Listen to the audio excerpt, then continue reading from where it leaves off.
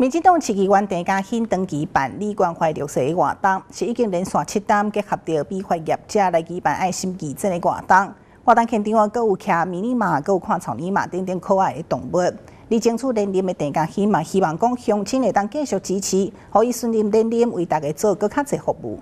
伫台湾桂林林寿宫活动广场，一透早来了真侪民众来遮剪头发，甲小朋友骑迷你马体验。这是现任台南市议员，也是即次代表民进党市议员参选人郑嘉欣，为了要关怀弱势、甲行动不便民众剪头发的需求，已经连续七档结合美发业者办理爱心义诊活动，并且希望借由义诊，可以有更加侪爱心企业共同响应。今年吼，在甲米兰时尚发型徐总裁合作这个爱心义诊，一定是第七届。啊，阮的爱心用心永远拢未改变，一直会延续落去。嘛，非常感谢米兰时尚发型爱心义诊长期以来吼，甲嘉兴议员共同来配合。最主要就是要互咱遮的长辈时代好朋友、弱势团体，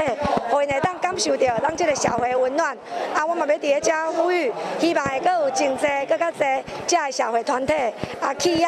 等等。吼，拢会当出来发挥这个爱心。伫即次义诊活动现场，美化业者动用高位设计师来为民众进行义诊，并且针对每一个头针特性甲面型，用历时尚整发技术来为民众整出好整理、好看、各有时尚感的头针。这些阿公阿妈他们的意见，其实有的时候我们还是会结合我们自己的时尚，对，然后去帮他们做一些造型，让他们去体验一下，其实他们也是可以很年轻的，对。那我们这一次也是动用了大概有九个设计师，对，然后来一起参加这样的一个爱心义剪活动。伫爱心义剪活动，上起大人甲小朋友喜爱，就是会当体验骑迷你马、甲看草泥马可爱动物，各有手工蛋花、免费饮料来提供大家消暑。市员郑嘉欣表示，希望乡亲搁再次来支持，互伊会当连任来为大家做更加侪服务，以及延续办理爱心活动，来关怀社会弱势团体。未来嘉兴若阁继续当选议员，阮会继续阁把这个爱心传递落去。每一档每一档，